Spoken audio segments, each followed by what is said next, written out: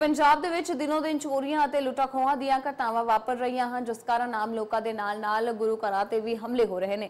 ਕੋਟਕਪੂਰਾ ਤੇ ਪੁਰਾਣੇ ਸ਼ਹਿਰ ਦੇ ਵਿੱਚ ਸਥਿਤ ਕਾਲੀ ਮਾਤਾ ਮੰਦਿਰ ਦੇ ਵਿੱਚੋਂ ਰਾਤ ਜਿਹੜੀ ਹੈ ਚੋਰਾਂ ਨੇ ਦਾਨ ਬਾਕਸ ਦੇ ਵਿੱਚੋਂ ਨਕਦੀ ਚੋਰੀ ਕਰ ਲਈ। ਇਸ ਘਟਨਾ ਮੰਦਿਰ ਦੇ ਵਿੱਚ ਲੱਗੇ ਸੀਸੀਟੀਵੀ ਦੇ ਵਿੱਚ ਕੈਦ ਹੋ ਗਈ ਹੈ। ਦੱਸਦੇ ਕਿ ਏਐਸਆਈ ਸੁਖਦੇਵ ਸਿੰਘ ਨੇ ਦੱਸਿਆ ਹੈ ਕਿ ਚੋਰੀ ਦੀ ਸ਼ਿਕਾਇਤ ਪ੍ਰਾਪਤ ਹੋਈ ਹੈ।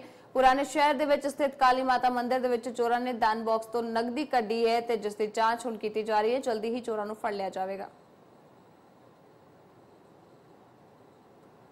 ਦੁਕਾਨ ਦੇ ਵਿੱਚ ਜਿਹੜੇ ਦੱਸਦੇ ਕਿ ਦਾਨ ਬਾਕਸ ਦੇ ਵਿੱਚ ਨਗਦੀ ਲੈ ਕੇ ਚੋਰ ਫਰਾਰ ਹੋਏ ਨੇ। ਕੋਟਕਪੁਰਾ ਦਾ ਮਾਮਲਾ ਸਾਹਮਣੇ ਆਇਆ, ਜਿੱਥੇ ਕਾਲੀ ਮਾਤਾ ਮੰਦਿਰ ਦੇ ਵਿੱਚ ਚੋਰੀ ਦੀ ਘਟਨਾ ਨੂੰ ਅੰਜਾਮ ਦਿੱਤਾ ਗਿਆ ਹੈ। ਚੋਰੀ ਦੀ ਘਟਨਾ ਸੀਸੀਟੀਵੀ ਦੇ ਵਿੱਚ ਕੈਦ ਹੋ ਚੁੱਕੀ ਹੈ। ਦਾਨ ਪੇਟੀ ਦੇ ਵਿੱਚੋਂ ਨਗਦੀ ਲੁੱਟ ਕੇ ਫਰਾਰ ਹੋਏ ਨੇ ਲੁਟੇਰੇ।